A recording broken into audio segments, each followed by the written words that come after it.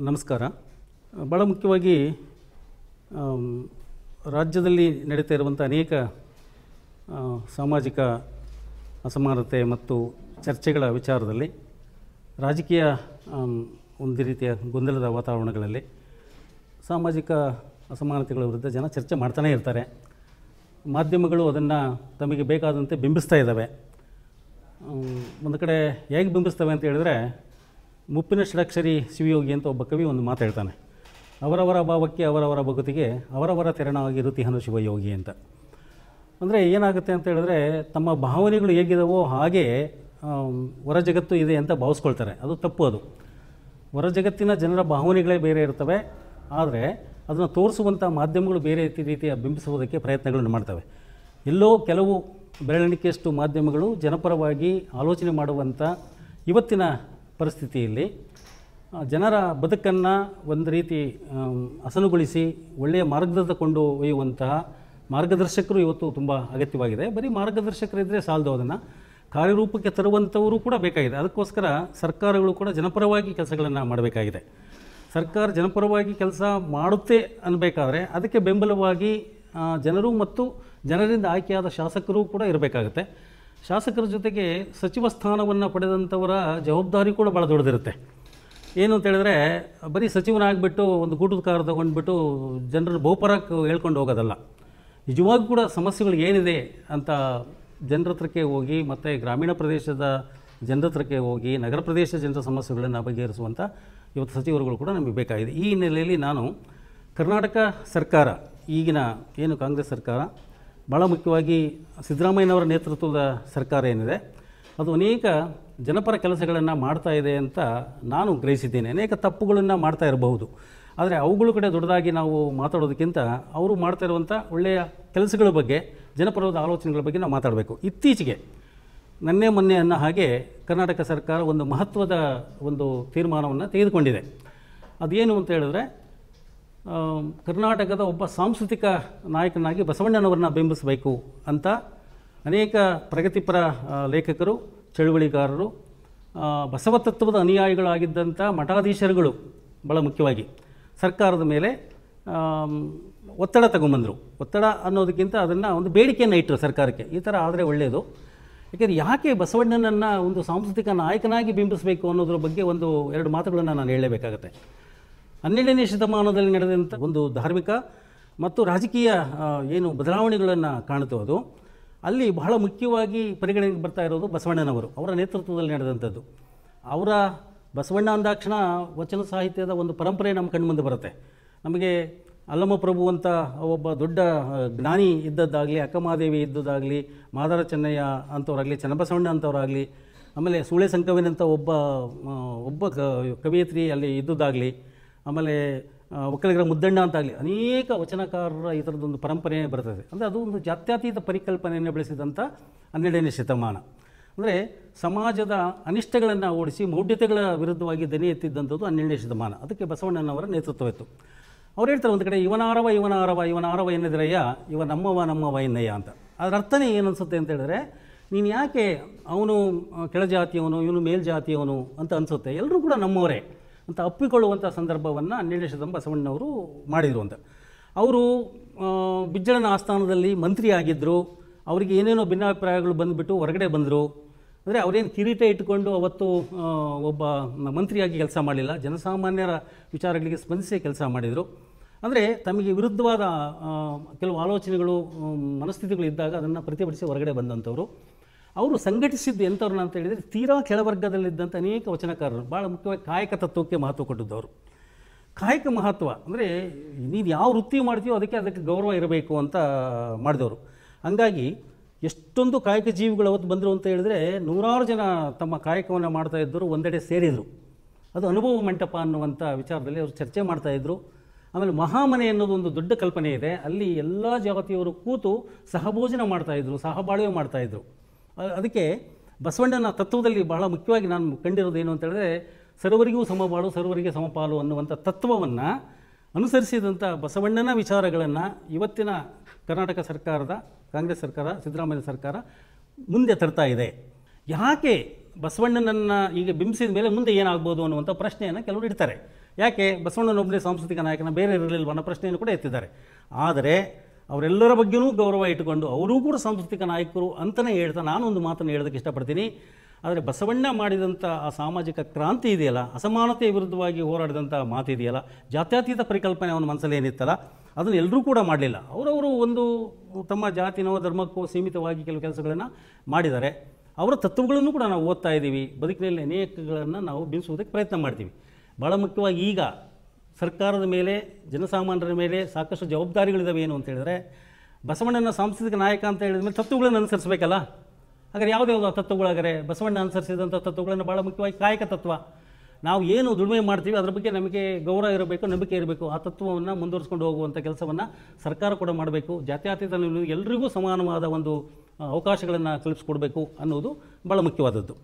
ಹೀಗೆ ಸಿದ್ದರಾಮಯ್ಯನವರು ನೇತೃತ್ವದಲ್ಲಿ ಇರುವಂಥ ಸರ್ಕಾರ ಇದನ್ನು ತೀರ್ಮಾನ ತೆಗೆದುಕೊಂಡಿರುವುದಕ್ಕೆ ನಾನು ಕೆಲವು ಅಂಶಗಳನ್ನು ಗುರುತಿಸ್ತೀನಿ. ಗೊತ್ತು, ಹಿಂದೆ ಅವರು ಅಧಿಕಾರದಲ್ಲಿದ್ದಾಗ ಅದೇನೋ ಒಂದಷ್ಟು ಗೊಂದಲ ಸೃಷ್ಟಿಯಾಯಿತು. ಲಿಂಗಾಯತ ಅನ್ನೋದು ಒಂದು ಪ್ರತ್ಯೇಕವಾದ ಧರ್ಮ, ಅದಕ್ಕೆ ಮಾನ್ಯತೆಯನ್ನು ಕೊಡಬೇಕು ಅಂತ ಒಂದು ಹೋರಾಟ ನಡೆದಾಗ ಅದಕ್ಕೆ ಬೆಂಬಲ ಕೊಟ್ಟದ್ದು ಮಾನ್ಯ ಅವತ್ತಿನ ಮುಖ್ಯಮಂತ್ರಿ ಆಗಿದ್ದಂಥ ಸಿದ್ದರಾಮಯ್ಯನವರು. ಸಿದ್ದರಾಮಯ್ಯನವರು ಧರ್ಮವನ್ನು ಒಡೆಯೋದಕ್ಕೆ ಪ್ರಯತ್ನ ಮಾಡಿದರು ಅನ್ನುವಂಥ ಒಂದು ಟೀಕೆಗಳನ್ನು ಅವ್ರಿಗೆ ಮೇಲೆ ಹಾಕಿದರು. ಆದರೆ ತಪ್ಪು. ಅವರು ಯಾವ ಧರ್ಮವನ್ನು ಒಡಿಲಿಲ್ಲ ಅವರೇ ಸ್ಪಷ್ಟವಾಗಿ ಒಂದು ಸಂದರ್ಶನದಲ್ಲಿ ಹೇಳ್ತಾರೆ, ಸಿದ್ದರಾಮಯ್ಯನವರು, ನಾನು ಧರ್ಮವನ್ನು ಒಡೆದ್ನ. ನಾನಲ್ಲ, ಬಸವಣ್ಣನವರೇ ಹನ್ನೆರಡನೇ ಶತಮಾನದಲ್ಲಿ ಲಿಂಗಾಯತ ಧರ್ಮವನ್ನು ಸ್ಥಾಪಿಸಿದವರು. ಅವರು ಸ್ಥಾಪಿಸಿದ ಧರ್ಮವನ್ನು ಮತ್ತೆ ಅನೇಕ ಜನ ಇದೊಂದು ಪ್ರತ್ಯೇಕ ಧರ್ಮ ಅಂತ ಹೇಳೋದ್ರಿಂದ ನಾನು ಅದಕ್ಕೆ ಬೆಂಬಲ ಕೊಟ್ಟಿದ್ದೀನಿ ಅನ್ನೋದನ್ನು ನೇರವಾಗಿ ಅವರು ಸ್ಪಷ್ಟವಾಗಿ ಹೇಳಿದರು. ಮತ್ತು ಬಸವಣ್ಣನ ಅನೇಕ ವಿಚಾರಗಳನ್ನು, ವಚನಗಳ ಮೂಲಕ, ಅವರು ಮಾಡಿದಂಥ ಸಾಮಾಜಿಕ ಕ್ರಾಂತಿಯ ಮೂಲಕ, ಸಂವಿಧಾನದ ಬಗ್ಗೆ ನಾವು ಇವತ್ತೇನು ಮಾತಾಡ್ತಿದ್ವಿ ಅಂಥ ವಿಚಾರಗಳನ್ನ ಇಟ್ಟುಕೊಂಡು ಪ್ರಜಾಸತ್ತಾತ್ಮಕವಾಗಿರುವಂಥ ವಿಚಾರಗಳನ್ನ ಇಟ್ಟುಕೊಂಡು ಸಿದ್ದರಾಮಯ್ಯನವರು ಮಾತಾಡಿರೋದು ನಮಗೆ ಗೊತ್ತೇ ಇದೆ. ಹೀಗಾಗಿ ಅವರು ಇದ್ದಂಥ ಸಂದರ್ಭದಲ್ಲೇ ಮತ್ತೆ ಕರ್ನಾಟಕದಲ್ಲಿ ಸಾಂಸ್ಕೃತಿಕ ನಾಯಕನ ಬಸವಣ್ಣನ ಬಿಂಬಿಸ್ತಾ ಇರೋದು ಭಾಳ ಸೂಕ್ತವಾಗಿದೆ ಅನ್ನೋದು ನನಗೆ ಮಾತು. ಎಷ್ಟು ಜನ ಲಿಂಗಾಯತ ಶಾಸಕರು ಬಸವಣ್ಣನ ತತ್ವಗಳನ್ನು, ಬಸವಣ್ಣನ ವಚನಗಳನ್ನು ಓದ್ಕೊಂಡಿದ್ದಾರೆ, ಅನುಸರಿಸ್ತಾ ಇದ್ದಾರೆ. ಬಹಳ ಮುಖ್ಯವಾಗಿ ಸಚಿವರು ಮತ್ತು ಏನು ಶಾಸಕರು ಮತ್ತು ಸಚಿವರುಗಳು ಕೂಡ ಇದನ್ನು ಯೋಚನೆ ಮಾಡಬೇಕಾಗಿದೆ. ಸಿದ್ದರಾಮಯ್ಯನ ರೀತಿಯೇ ಒಂದಷ್ಟು ವಚನಗಳನ್ನು ಇವರು ಓದ್ಕೊಂಡು ಅರ್ಥ ಮಾಡ್ಕೋಬೇಕು. ಅನೇಕ ಬಸವ ತತ್ವದ ಸ್ವಾಮೀಜಿಗಳು ಅದಕ್ಕೆ ಪ್ರಚಾರ ಮಾಡ್ತಾ ಇದ್ದಾರೆ. ಆ ಮಾತುಗಳನ್ನ ನಾವು ಕೇಳಬೇಕು. ವಚನಗಳು ಎಷ್ಟು ಅರ್ಥಪೂರ್ಣವಾಗಿದ್ದಾವೆ ಸರಳವಾದ ವಚನಗಳು ಇದ್ದಾವೆ ಕ್ಲಿಷ್ಟವಾದ ವಚನಗಳು ಇದ್ದಾವೆ ಓದ್ಕೋಬೇಕು. ಕರ್ನಾಟಕ ಸರ್ಕಾರ ಸಮಗ್ರ ವಚನ ಸಂಪುಟಗಳನ್ನು ತಂದಿದೆ. ಎಂ. ಕಲಬುರ್ಗಿ ಅವರ ಸಂಪಾದಕತ್ವದಲ್ಲಿ ಬಂದಿದೆ. ಈ ಸಂದರ್ಭದಲ್ಲಿ ನಾನು ಕಲಬುರ್ಗಿ ಅವರ ಸರಿ ಹೇಳುತ್ತಿರುವ ಸಂದರ್ಭದಲ್ಲಿ ಒಂದು ಘಟನೆಯನ್ನು ನಾನು ನೆನಪು ಮಾಡ್ಕೊಳ್ಬೇಕಾಗಿದೆ. ಈಗ ಲಿಂಗಾಯತ ಒಂದು ಧರ್ಮ ಅಂತ ಹೇಳಿದಂಥ ಎಂ ಎಂ ಕಲಬುರ್ಗಿ ಅವರನ್ನು ಹತ್ಯೆ ಮಾಡುವಂಥ ಒಂದು ಮನಸ್ಥಿತಿ ನಿರ್ಮಾಣ ಆಯ್ತಲ್ಲ? ಅದರ ಬಗ್ಗೆ ನಾನು ಹೇಳಬೇಕು. ಇದಕ್ಕೆ ಹತ್ಯೆಗೆ ಒಂದು ಲಿಂಗಾಯತ ಪರಂಪರೆ, ಹತ್ಯೆಗೆ ಒಂದು ಕೆಟ್ಟ ಪರಂಪರೆ ಇದೆ. ನಾನು ಹೇಳೋದು ಒಳ್ಳೆಯ ಪರಂಪರೆ ಅಲ್ಲ ಅದು. ಮೈಸೂರು ಮಹಾರಾಜರಿಗೆ ಒಂದು ಸಂದರ್ಭದಲ್ಲಿ ಕೆಲವು ಪುರೋಹಿತ ಶಾಹಿಗಳು ಅವರಿಗೆ ಏನದು, ಚಾಡಿ ಹೇಳಿ ಇದು ಮಾಡಿ, ಆ ಥರದ್ದು ಮಾಡಿ ಚಾಮರಾಜನಗರ ಜಿಲ್ಲೆಯ ಅವತ್ತು ನಂಜನಗೂಡಿನ ಹತ್ರ ಸಾವಿರಾರು ಜಂಗಮರನ್ನು ಹತ್ಯೆ ಮಾಡುವಂಥ ಒಂದು ಸಂದರ್ಭವನ್ನು ನಾವು ಇತಿಹಾಸದಲ್ಲಿ ಓದ್ತಾ ಇದ್ದೀವಿ. ಅದರ ಪರಂಪರೆ, ಒಂದು ರೀತಿ ಕೆಟ್ಟ ಪರಂಪರೆ ಮುಂದುವರೆದ ರೀತಿಯಲ್ಲಿ ಯಾವಾಗ ಇವರು ಖಡಾಖಂಡಿತವಾಗಿ ಲಿಂಗಾಯತ ಅನ್ನೋದು ಒಂದು ಧರ್ಮ ಅಂತ ಹೇಳ್ತಾ ಬಂದರು. ಆಮೇಲೆ ವೀರಶೈವ ಅನ್ನೋ ಧರ್ಮ ಬಗ್ಗೆ ಇರುವಂಥ ತಪ್ಪು ಕಲ್ಪನೆಗಳ ಬಗ್ಗೆ ಮಾತಾಡೋಕ್ಕೆ ಶುರು ಮಾಡಿದರು. ಪುರೋಹಿತ ಶಾಹಿಗಳ ವಿರುದ್ಧವಾಗಿ ಖಡಾಖಂಡಿತವಾಗಿ ಮಾತಾಡೋದಕ್ಕೆ ಶುರು ಮಾಡಿದರು. ಅಂಥ ಒಬ್ಬ ಸಂಶೋಧಕನ ಮಾತುಗಳನ್ನು ಕೇಳುವುದಷ್ಟು ಕೂಡ ನಮಗೆ ಇಲ್ಲದಂಥ ಸಂದರ್ಭದಲ್ಲಿ ಅವರ ವಿಚಾರಗಳನ್ನು ಅಪಪ್ರಚಾರ ಮಾಡಿದರು. ಅವರು ಹಿಂದುತ್ವದ ವಿರೋಧಿಗಳು ಅಂತ ಹೇಳಿದರು, ದೇವತೆಗಳ ವಿರೋಧಿಗಳು ಅಂತ ಪಟ್ಟ ಕಟ್ಟಿದರು. ಬಸವತತ್ವದ ವಿಚಾರಕ್ಕೆ ಅವರನ್ನು ಒಗ್ಗು ಮಾಡಿದರೂ ಕೂಡ ಬೇರೆ ದಿಕ್ಕಿನಲ್ಲಿ ಜನರನ್ನು ಆಲೋಚನೆ ಇದಕ್ಕೆ, ಮಾಧ್ಯಮಗಳು ಭಾಳ ಬಿಂಬಿಸೋದಕ್ಕೆ ಶುರು ಮಾಡಿದ್ವು. ಅವರು ಒಂದು ಸಂದರ್ಭದಲ್ಲಿ ಬೆಂಗಳೂರಿಗೆ ಬಂದಾಗ ವಿಜ್ಞಾನ ಪರಿಷತ್ತು ಎಲ್ಲ ಒಂದು ಮಾತಾಡ್ತಾ ಒಂದು ಮಾತು ಹೇಳ್ತಾರೆ. ಏನು ಮಾತಾಡೋದು ಅಂತ ಹೇಳಿದ್ರೆ ಯು ಆರ್ ಅನಂತಮೂರ್ತಿಯವರು ವಯೋಸಹಜವಾಗಿ ನಾನು ಮೂರ್ತಿಯ ಮೇಲೆ, ಅಲ್ಲಿದ್ದ ಮೂರ್ತಿಗಳ ಮೇಲೆ ಉಚ್ಚವಿದೆ ನನಗೇನು ಆಗಲಿಲ್ಲ ಅನ್ನುವಂಥ ಮಾತನ್ನು ಬರ್ಕೊಂಡಿದ್ದಾರೆ. ಬೆತ್ತಲೆ ಸೇವೆ ಸಲ್ಲದು ಅನ್ನುವಂಥ ಒಂದು ಲೇಖನದಲ್ಲಿ ಅದು ಸ್ಪಷ್ಟವಾಗಿ ಅನಂತಮೂರ್ತಿಯವರು ದಾಖಲೆ ಮಾಡ್ತಾರೆ. ಇನ್ನೂ ಅನೇಕ ವಿಚಾರಗಳು. ಇದನ್ನು ಹೇಳಿದರು ಅಂತ ಅವರು ಕಲಬುರ್ಗಿಯವರು ಹೇಳಿದರೆ, ಮಾಧ್ಯಮದವರು ಇವರೇ ಅದನ್ನು ಮಾತು ಹೇಳಿಬಿಟ್ರೇನೋ, ದೇವತೆ ಮೇಲೆ ಉಚ್ಚವಿದೆ ನನಗೇನೂ ಆಗಲಿಲ್ಲ ಅಂತ ಇವ್ರು ಹೇಳ್ತಾ ಇದ್ದಾರೆ ಅನ್ನುವಂಥ ತಪ್ಪು ಕಲ್ಪನೆಗಳನ್ನು ಬಿಂಬಿಸಕ್ಕೆ ಶುರು ಮಾಡಿದರು. ಒಂದು ಎಲೆಕ್ಟ್ರಾನಿಕ್ ಮೀಡಿಯಾದ ಒಂದು ಟಿ ವಿನವರು ಸಂದರ್ಶನ ಮಾಡ್ತಾ ಅವರ ಮಾತುಗಳಿಗೆ ಅವಕಾಶವನ್ನೇ ಕೊಡಲಿಲ್ಲ ಒಬ್ಬ ವ್ಯಕ್ತಿ. ಇವರೇ ಮಾಡಿದ್ದಾರೆ ನನಗೆ ತಾವು ಸಮರ್ಸ್ಕೊಳ್ಳೋಕೆ ಅವಕಾಶನೇ ಕೊಡದ ಹಾಗೆ ಒನ್ ಸೈಡೆಡ್ ಆದ ವಿಚಾರಗಳನ್ನು ಅವರು ಬಿಂಬಿಸಿದರು. ಕೇಳುಗರಿಗೆ, ನೋಡುಗರಿಗೆ ಏನಾಯಿತು ಅಂತ ಹೇಳಿದರೆ, ಅದರಲ್ಲೂ ಕೂಡ ಹಿಂದುತ್ವದ ಪ್ರತಿಪಾದಕರಿಗೆ ಏನಾಗ್ಬಿಡ್ತು ಅಂತ ಹೇಳಿದರೆ, ಇಲ್ಲ, ಇವರು ಹಿಂದುತ್ವದ ವಿರೋಧಿಗಳು ಅನ್ನೋಂಥ ಪಟ್ಟವನ್ನು ಅಲ್ಲಿ ಕಟ್ಟಿಸ್ಕೊಂಡು ಮಾಧ್ಯಮದ ವಿಚಾರ ಪ್ರಿಂಟ್ ಮೀಡಿಯಾದ ಬಗ್ಗೆ ಬರೋದಾದ್ರೆ, ಅವತ್ತಿನ ಕನ್ನಡ ಪ್ರಭಾ ಪತ್ರಿಕೆ. ಅವತ್ತು ಇವರು ವಿರುದ್ಧವಾಗಿ ವಿರುದ್ಧವಾಗಿ ಪಿತೂರಿಯನ್ನೇ ಮಾಡ್ತು. ಅನೇಕ ಲೇಖನಗಳನ್ನು ಓತಪ್ರೋತವಾಗಿ ಪ್ರಕಟಿಸ್ತು. ಏನು ಅಂತ ಹೇಳಿದರೆ, ಸಂಶೋಧಕನ ವಿಚಾರಗಳನ್ನು ಸಂಶೋಧಕನೇ ಉತ್ತರ ಕೊಡಬೇಕೆ ಹೊರತು ಕಾಂಜಿ ಪಿಂಜಿಗಳು ಯಾರೂ ಉತ್ತರ ಕೊಡೋದಲ್ಲ. ಚಿಳ್ಳೆಪಳ್ಳಿಗಳಿಂದ ಎಲ್ಲ ಉತ್ತರ ಕೊಡೋಕ್ಕೆ ಶುರು ಮಾಡಿಸಿದ್ರು. ಅವ್ರಿಗೊಂದು ಸಂದರ್ಭದಲ್ಲಿ ನೋವಾಯಿತು. ಒಂದು ತಿಂಗಳು ನಿರಂತರವಾಗಿ ಅವ್ರ ಮೇಲೆ ದಾಳಿ ಮಾಡಿದಾಗ, ಲೇಖನಗಳು ಬರೆದಾಗ, ತನ್ನ ಹೆಂಡತಿಗೆ ತಮ್ಮ ಪತ್ರಿಕೆ ಇಟ್ಟು ಕನ್ನಡ ಪರ್ವ ತೆಗೆದುಬಿಟ್ಟು ಹಿಂಗೆ ಬಿಸಾಕಿ ಹೇಳ್ತಾರೆ, ಈ ಪತ್ರಿಕೆಯನ್ನು ಆಯುಷ್ಯದ ಹತ್ತು ವರ್ಷವನ್ನು ಕಡಿಮೆ ಮಾಡ್ತು ಅಂತ ನೋವು ತೋಡ್ಕೊಳ್ತಾರೆ. ಅಂದರೆ ಅರ್ಥ ಮಾಡ್ಕೋಬೇಕು, ಒಬ್ಬ ಸಂಶೋಧಕನಿಗೆ ಎಷ್ಟು ನೋವಾಗಿರಬೇಕು ಅಂತ. ಹಾಗಾಗಿ ಹಿಂದುತ್ವದ ಪ್ರತಿಪಾದಕರು ಇದ್ದಂಥ ಯುವಕರು ಅವ್ರ ಮೇಲೆ ಕಣ್ಣಿಟ್ಟು, ಅವರನ್ನು ಗುಂಡಿಟ್ಟು ಒಂದಿನ ಹತ್ಯೆ ಮಾಡಿದರು. ಅವ್ರನ್ನ ಹತ್ಯೆ ಮಾಡೋದಕ್ಕಿಂತ ಮೊದಲು ಮಹಾರಾಷ್ಟ್ರದಲ್ಲಿ ಎರಡು ಹತ್ಯೆಗಳು ಆಗಿತ್ತು. ಪಾನ್ಸಾರೆ ಮತ್ತು ದಾಬೋಲ್ಕರ್ ಅಂತ ಅವರು ದೊಡ್ಡ ವಿಚಾರವಾದಿಗಳು. ಜನರಿಗೆ ವಿಚಾರಗಳನ್ನು ಹೆಚ್ಚು ತಲುಪಿಸೋದಕ್ಕೆ ಪ್ರಯತ್ನ ಮಾಡ್ತಾಯಿದ್ರು ಮೌಢ್ಯತೆ ವಿರುದ್ಧವಾಗಿ ಮಾತಾಡ್ತಾಯಿದ್ರು ಅವರು ಕಂದಾಚಾರಗಳ ವಿರುದ್ಧವಾಗಿ ಮಾತಾಡ್ತಾಯಿದ್ರು ಆಮೇಲೆ ಆಮ್, ಏನದು ವಿಧವಾ ವಿವಾಹಗಳನ್ನು ಮಾಡೋದಕ್ಕೆ ಪ್ರಯತ್ನ ಮಾಡ್ತಾಯಿದ್ರು ಇಂಥರ ವಿರುದ್ಧವಾಗಿ ಪುರೋಹಿತಶಾಹಿ ಕಣ್ಣಿಟ್ಬಿಟ್ಟು ಅವ್ರನ್ನ ಮುಗಿಸಿತ್ತು. ಇಲ್ಲಿ ಕಲಬುರಗಿ. ಮುಂದಿನ ಹತ್ಯೆ ಆಗಿದ್ದು ಮತ್ತೊಬ್ಬ ಲಿಂಗಾಯಿತ ಅಂತ ಹೇಳ್ಕೊಂಡಂಥ ಗೌರಿ ಲಂಕೇಶ್ ಬಗ್ಗೆ. ಇಲ್ಲಿ ನೋಡಿ ನಾನು ಆಗಲೇ ಹೇಳ್ತಾ ಬಂದಿದ್ದೆ. ಸಾವಿರಾರು ಜನ ಇವ್ರನ್ನ ಜಂಗಮರನ್ನ ಕೊಂದದ್ದು, ಕಲಬುರಗಿಯವರನ್ನು ಕೊಂದದ್ದು. ನೆಕ್ಸ್ಟು ಗೌರಿಯವರು ಮಾಡಿದ್ದೇನು ಅಂತ ಹೇಳಿದರೆ, ಜನಪರವಾಗಿ ವೇದಿಕೆಗಳಲ್ಲಿ ಭಾಷಣ ಮಾಡ್ತಾಯಿದ್ರು ಕ್ರಾಂತಿಕಾರಕವಾಗಿ. ಮಂಗಳೂರಿನ ಯಾವುದೋ ಒಂದು ಸಭೆಯಲ್ಲಿ ಮಾತಾಡಿದ್ರು ಅನ್ನುವಂಥ ಒಂದು ಕ್ಲಿಪ್ಪಿಂಗನ್ನು ಬಿಟ್ಟುಬಿಟ್ಟು ಮತ್ತೆ ಪ್ರಚೋದನೆಗೆ ಒಳಪಡಿಸಿ ಆಕೆಯನ್ನು ಕೂಡ ಗುಂಡಿಟ್ಟು ಹತ್ಯೆ ಮಾಡುವಂಥ ಒಂದು ಕೃತ್ಯಕ್ಕೆ ಬಳಸ್ಕೊಂಡ್ರು. ಇದರರ್ಥ ಏನು ಅಂತ ಹೇಳಿದ್ರೆ, ಈ ಥರದ ವೈಚಾರಿಕವಾಗಿ ಇರುವಂಥ ಲಿಂಗಾಯತ ಧರ್ಮದ ವಿಚಾರಗಳನ್ನು ಜನರಿಗೆ ತಲುಪಿಸುವಂಥ ವ್ಯವಸ್ಥೆಯಲ್ಲಿ ಪುರೋಹಿತಶಾಹಿ ಮತ್ತೆ ಮತ್ತೆ ಅಡ್ಡಿ ಬರ್ತಾ ಇದೆ. ಪುರೋಹಿತಶಾಹಿ ಅಂತ ಹೇಳಿದ್ರೆ ಇವತ್ತು ಮಾಧ್ಯಮಗಳಿಗೂ ಅನೇಕ ಮಾಧ್ಯಮಗಳು ಪುರೋಹಿತಶಾಹಿ ಹಿಡಿತದಲ್ಲಿವೆ. ಹೀಗಾಗಿ ಇದನ್ನು ತಪ್ಪಿಸಬೇಕು ಅಂತ ಹೇಳಿದ್ರೆ ನಾವು ಏನು ಮಾಡಬೇಕು ಅಂತ ಹೇಳಿದ್ರೆ ಇವತ್ತೇನು ದೇವರು ಧರ್ಮದ ಹೆಸರಲ್ಲಿ ದೇಶಾದ್ಯಂತ ಏನು ದೊಡ್ಡ ಇದನ್ನು ಎಬ್ಬಿಸ್ತಾ ಇದ್ದಾರೆ, ಸುಳ್ಳುಗಳನ್ನು ಎಬ್ಬಿಸ್ತಾ ಇದ್ದಾರೆ. ಒಂದು ಪುರಾಣದ ಕಲ್ಪಿತ ಒಬ್ಬ ವ್ಯಕ್ತಿಯನ್ನು ಇತಿಹಾಸ ಪುರುಷನನ್ನಾಗಿ ಮಾಡಿಬಿಟ್ಟು ಅದಕ್ಕೆ ಒಂದು ಅಭಿವೀಕರಣವಾದ ಇದನ್ನು ಒಂದು ದಿನವನ್ನೇ ಕೂಡ ಮೀಸಲಾಗಿಟ್ಬಿಟ್ಟು ಹಾಗೆ ಮಾಡಬೇಕು, ಹೀಗೆ ಮಾಡಬೇಕು, ಭಜನೆ ಮಾಡಬೇಕು ಅಂತ ಏನು ಭಜನೆ ಮಾಡೋಕ್ಕೆ ಕೊಟ್ಟಿದ್ದಾರಲ್ಲ? ಅದು ಅಲ್ಲ. ನಿಜವಾಗಿಯೂ ಕೂಡ ಜನಪರವಾದ ತತ್ವಗಳನ್ನು ಅಳವಡಿಸಬೇಕು ಅಂತ ಹೇಳಿದರೆ ಬಸವಣ್ಣ ತತ್ವಗಳನ್ನು ಅಳವಡಿಸುವುದಕ್ಕೆ ಒಂದು ಕಡೆ ದೇಶಾದ್ಯಂತ ಒಂದು ರಾಮನ ಜಪನ ಮಾಡ್ತಾ ಇದ್ದರೆ ಕರ್ನಾಟಕ ಸರ್ಕಾರ ಮಾಡಿದಂಥ ಮಹತ್ವದ ಕೆಲಸ ಏನು ಅಂತ ಹೇಳಿದ್ರೆ, ನೀವು ಬಸವ ತತ್ವವನ್ನು, ಬಸವನ ಜಪವನ್ನು ಮಾಡಿ ಅಂತ ಹೇಳ್ತಾ ಇದೆ. ನೋಡಿ, ಇವತ್ತು ನಿನ್ನೆಯಿಂದ ಆರಂಭ ಆಗಿದೆ, ನಿನ್ನೆ ಮೊನ್ನೆಯಿಂದ ಮುಖ್ಯಮಂತ್ರಿಯವರು ಉದ್ಘಾಟನೆ ಮಾಡಿದರೆ, ಲಾಲ್ಬಾಗಲ್ಲಿ ಪ್ರತಿ ವರ್ಷ ಜನವರಿ ಇಪ್ಪತ್ತಾರನೇ ತಾರೀಕು, ಆಗಸ್ಟ್ ಹದಿನೈದನೇ ತಾರೀಕು ಕೆಲವು ಮಹತ್ವದ ಸ್ತಬ್ಧ ಚಿತ್ರಗಳನ್ನು ಮತ್ತು ಪ್ರದರ್ಶನಗಳನ್ನು ಮಾಡ್ತಾ ಇರ್ತಾರೆ. ಈ ಸರಿ ಭಾಳ ವಿಶೇಷವಾಗಿ ಇದು ಗೊತ್ತಿಲ್ಲ, ಇದು ಸರ್ಕಾರ ತೀರ್ಮಾನ ತೆಗೆದುಕೊಳ್ಳುವಂಥ ಮೊದಲನೇ ಅವರು ತರ್ಕೊಂಡು ತಗೊಂಡಿದ್ರು. ಬಸವ ತತ್ವವನ್ನು ಭಾಳ ಮುಖ್ಯವಾಗಿ ವಚನಕಾರರನ್ನು ಬಿಂಬಿಸುವಂಥ ಒಂದು ಪ್ರದರ್ಶನ ಮಾಡ್ತಾ ಇದ್ದಾರೆ.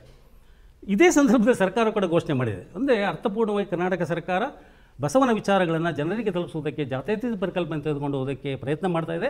ನಾವೆಲ್ಲ ಕೂಡ ಅದಕ್ಕೆ ಬೆಂಬಲಿಸಬೇಕಾಗಿದೆ. ಈ ಬಸವ ತತ್ವವನ್ನು ಅನುಸರಿಸದೇ ಇರುವ ಶಾಸಕರು ಮತ್ತು ಸಚಿವರ ಬಗ್ಗೆ ನಾನೊಂದು ಮಾತನ್ನು ಹೇಳಿದೆ. ಈ ಸಂದರ್ಭದಲ್ಲಿ ನಾನು ಇನ್ನೊಂದು ಮಾತನ್ನು ನೆನಪು ಮಾಡ್ಕೊಳ್ಬೇಕು ಅಂತ ಸೇರಿಸಬೇಕಾದ ವಿಚಾರ ಏನು ಅಂತ ಹೇಳಿದ್ರೆ, ಹಿಂದಿನ ಬಿ ಜೆ ಪಿ ಸರ್ಕಾರದಲ್ಲಿ ಅನೇಕ ಕೋಮು ಗಲಭೆಗಳಾದವು ಅಂದರೆ ಅವರು ಹೇಳುವುದೊಂದು ಮಾಡುವುದೊಂದು ಆಗಿತ್ತು. ಅಥವಾ ಅವ್ರ ಅಂತರಂಗದಲ್ಲಿ ಏನನ್ನು ಭಾವಿಸ್ಕೊಂಡಿದ್ರು ಅದನ್ನು ಹೊರಗಡೆ ಕ್ರಿಯೆಯ ರೂಪದಲ್ಲಿ ಅದನ್ನು ತೋರಿಸ್ತಾ ಇದ್ರು. ಈಗ ಮಂಗಳೂರು ದಕ್ಷಿಣ ಕನ್ನಡ ಕಡೆ ಆಗಿರುವಂಥ ಅನೇಕ ಘಟನೆಗಳನ್ನು ನೋಡಿದರೆ ಗೊತ್ತಾಗುತ್ತೆ ನಿಮಗೆ. ಅಲ್ಲಿ ಆದಂಥ ಅನೇಕ ಘಟನೆಗಳನ್ನು ಬೇರೆ ಬೇರೆ ರಾಜ್ಯ ಜಿಲ್ಲೆಗಳಲ್ಲಿ ಅದನ್ನು ಬಿಂಬಿಸೋದಕ್ಕೆ ಪ್ರಯತ್ನ ಮಾಡಿದರು. ಅಂದರೆ ಮುಸ್ಲಿಮ್ಸರ ವಿರುದ್ಧವಾಗಿ ಅನಗತ್ಯವಾಗಿ ಕ್ಷೋಭೆಯನ್ನು ಉಂಟು ಮಾಡುವಂಥ ಕೆಲಸಗಳನ್ನು ಮಾಡಿದರು. ಭಾಳ ಮುಖ್ಯವಾಗಿ ಬಸವರಾಜ ಬೊಮ್ಮಾಯಿಯವರು ಯಾವ ಲಿಂಗಾಯಿತ ಒಂದು ಏನು ಧರ್ಮ ಅಂತಲೋ ಅಥವಾ ಜಾತಿ ಅಂತಲೋ ಏನು ಕಲ್ಪಿಸ್ಕೊಂಡಿದ್ದೀವೋ ಅಲ್ಲಿಂದ ಬಂದಂಥ ವ್ಯಕ್ತಿ ಇದ್ದಾಗಲೇ ಕೂಡ ಈ ರಾಜ್ಯದಲ್ಲಿ ಹೆಚ್ಚು ಕೋಮು ಘರ್ಷಣೆಗಳಾಗಿದ್ದನ್ನು ನಾವು ಮರೆಯೋ ಹಾಗಿಲ್ಲ. ಅವರು ಕ್ರಿಯೆಗೆ ಪ್ರತಿಕ್ರಿಯೆ ಎನ್ನುವಂಥ ಮಾತುಗಳನ್ನು ಕೂಡ ಹೇಳುವಂಥ ಒಬ್ಬ ಮುಖ್ಯಮಂತ್ರಿ ಆಗಿದ್ದರು ಅನ್ನೋದು ಭಾಳ ದೌರ್ಭಾಗ್ಯ ಅದು. ಅವರ ಸಂದರ್ಭದಲ್ಲೇ ಯತ್ನಾಳ್ ಅಂಥವರು ಕೂಡ ಇದ್ದಲ್ಲ ಅವ್ರ ಜೊತೆಗೆ, ಬಸವರಾಜ್ ಯತ್ನಾಳು. ಇವತ್ತೇನು ಬಸವನಗೌಡ ಯತ್ನಾಳು, ಇವತ್ತು ಕೂಡ ಏನು ಮಾತಾಡ್ತಾರೆ? ಅವರಿಗೆ ಅವರಿಗೆ ನಾಲ್ಗೆ ಮೇಲೆ ಯಾವ ಹಿಡಿತಾ ಇದೆ, ಏನಿದೆ? ಓ, ಅವರು ಬಸವನ ನಾಡಿನಿಂದ ಬಂದವರು, ಬಿಜಾಪುರದಿಂದ ಬಂದವರು. ಆದರೆ ಬಸವ ತತ್ವ ಅನ್ನೋದೊಂದು, ಒಂದು ಚೂರು ಕೂಡ ಅವರಿಗೆ ಪರಿಜ್ಞಾನನೇ ಇಲ್ವಾ? ಎಷ್ಟು ಕೆಟ್ಟದಾಗಿ ಮಾತಾಡ್ತಾನೆ ಆ ಮನುಷ್ಯ ಅಂತ ಹೇಳಿದರೆ ಒಬ್ಬ ಶಾಸಕನಾಗಿ ತನ್ನ ಜವಾಬ್ದಾರಿ ಏನು ಅನ್ನುವುದನ್ನೇ ಮರೆತು ಬಿಟ್ಟು ಕೂಡ ಜನರಿಗೆ ಒಂದು ಕೋಮು ಗಲಭೆಗೆ ಪ್ರಚೋದನೆ ಆಗುವಂಥ ಅನೇಕ ಮಾತುಗಳನ್ನೇ ಹೇಳ್ತಾ ಇದ್ದಾರೆ. ಇವತ್ತು ಕೂಡ ಮುಸ್ಲಿಮರ ವಿರುದ್ಧವಾಗಿ ಅವರಷ್ಟು ಕಟುವಾಗಿ ಮಾತಾಡ್ತಾರೆ ಮತ್ತು ಬೇರೆ ಶಾಸಕರು ಇದ್ದಾರಲ್ಲ ಗೊತ್ತಿಲ್ಲ. ಹಾಗೆ ಮಾತಾಡಿದ್ರಲ್ಲ ಮನೆಗೆ ಹೋದರೂ ಅವ್ರನ್ನ ಕಳಿಸಿಯೂ ಆಗಿದೆ. ಆದರೆ ಒಂದು ಜವಾಬ್ದಾರಿತವಾಗಿ ನಡ್ಕೋಬೇಕಾದಂಥ ಸಚಿವರು ಕೂಡ ಬೇಜವಾಬ್ದಾರಿಯಿಂದ ವರ್, ವರ್ತಿಸಿದಾಗ ಜನ ಹೇಗೆ ಬುದ್ಧಿ ಕಲಿಸ್ತಾರೆ ಅನ್ನೋದಕ್ಕೆ ಅವ್ರನ್ನ ಮನೆ ಕಳಿಸಿದ್ದೇ ಸಾಕ್ಷಿ. ಆಗ ನೋಡಿದರೆ ಬಸವರಾಜ ಯತ್ನಾಳ್ ನಾನು ವೈಯಕ್ತಿಕವಾಗಿ ಹೇಳಬೇಕು ಅಂತ ಹೇಳಿದರೆ ಆತ ಸೋಲ್ಬೇಕಾಗಿತ್ತು ಅಂತಲೇ ನಾವು ಹೇಳ್ತಾ ಇರೋದು. ಯಾಕೆಂತ ಹೇಳಿದ್ರೆ ಅವರು ಕ್ಷೋಭೆಯನ್ನು ಉಂಟು ಮಾಡೋದಕ್ಕೋಸ್ಕರ ಮತ್ತೆ ಮತ್ತೆ ಹೀಗೆ ಗೆದ್ದು ಬಂದು ರಾಜ್ಯದಲ್ಲಿ ಅಶಾಂತಿ ನಿರ್ಮಾಣ ಮಾಡುವ ಬದಲು ಒಂದು ಒಳ್ಳೆಯತನದಲ್ಲಿ ನಡ್ಕೊಂಡು ಹೋಗಿದರೆ ಅದು ಬೇರೆ ಥರದ್ದಾಗೋದು. ಆದರೆ ಈ ಸಂದರ್ಭದಲ್ಲಿ ನಾನು ಹೇಳಬೇಕಾದ ಮಾತು ಏನು ಅಂತ ಹೇಳಿದರೆ ಯತ್ನಾಳ್ ಅಂತವರು ಬಸವ ತತ್ವದ ವಿರುದ್ಧವಾಗಿ ಮಾತಾಡದೇ ಮೌನವಾಗಿದ್ದು ರೇ ಅವರಿಗೆ ಒಳ್ಳೆಯದು. ಯಾರು ಪ್ರಗತಿಪರವಾಗಿ ಆಲೋಚನೆ ಮಾಡ್ತಾರೆ, ಯಾರು ಜನಪರವಾಗಿದ್ದಾರೆ ಅವ್ರುಗಳು ನಿಜವಾಗಿ ಕೂಡ ಈ ಸರ್ಕಾರವನ್ನು ನಾವು ಮೆಚ್ಚಬೇಕು ಮತ್ತು ಬೆಂಬಲಿಸಬೇಕು, ಅಭಿನಂದಿಸಬೇಕು. ಈ ಕೆಲಸವನ್ನು ನಾವು ಈ ಮಾಧ್ಯಮದ ಮೂಲಕ ಹೇಳೋದಕ್ಕೆ ನಾನು ಪ್ರಯತ್ನ ಮಾಡ್ತಾ ಇದ್ದೀನಿ. ನನ್ನ ವೈಯಕ್ತಿಕ ಬದುಕಿನಲ್ಲೂ ಕೂಡ ಈ ಥರದ ವೈಚಾರಿಕತೆಯನ್ನು ರೂಢಿಸಿಕೊಂಡು ಬಂದಂಥವನು, ಅನೇಕ ಅನ್ಯಾಯಗಳ ವಿರುದ್ಧ, ಈ ಥರದ ವಿರುದ್ಧ ನಾವು ಚಳುವಳಿಯಲ್ಲಿ ಪ್ರತಿಭಟನೆಗಳಲ್ಲಿ ಭಾಗವಹಿಸಿದಂಥವರು. ಹಾಗಾಗಿ ನಮಗೆ ಈ ಸರ್ಕಾರ ತೆಗೆದುಕೊಂಡಿರುವಂಥ ನಿಲುವು ಭಾಳ ಮುಖ್ಯವಾಗಿ ಸಿದ್ದರಾಮಯ್ಯವರು ತೆಗೆದುಕೊಂಡಿರುವಂಥ ಈ ನಿಲುವು ಕರ್ನಾಟಕ ಸರ್ಕಾರ ಏನು ಬಸವಣ್ಣನನ್ನು ಒಂದು ಸಾಂಸ್ಕೃತಿಕ ನಾಯಕ ಅಂತ ಬಿಂಬಿಸಿದೆ, ಅದನ್ನು ನಾನು ಸ್ವಾಗತ ಮಾಡ್ತೀನಿ. ಖಂಡಿತ ಅನೇಕರು ಕೂಡ ಸ್ವಾಗತ ಮಾಡ್ತಾರೆ ಅಂತ ಭಾವಿಸ್ಕೊಂಡು ನನ್ನ ಮಾತನ್ನು ಮುಗಿಸ್ತೀನಿ. ನಮಸ್ಕಾರ. ಮತ್ತಷ್ಟು ವಿಶೇಷ ವಿಡಿಯೋಗಳನ್ನು ನೋಡಲು ಮತ್ತು ಹೊಸ ವಿಡಿಯೋಗಳ ಬಗ್ಗೆ ತಿಳಿಯಲು Ee Dina dot com YouTube channel subscribe ಮಾಡಿ ಮತ್ತು ಬೆಲ್ ಐಕಾನ್ ಕ್ಲಿಕ್ ಮಾಡಿ.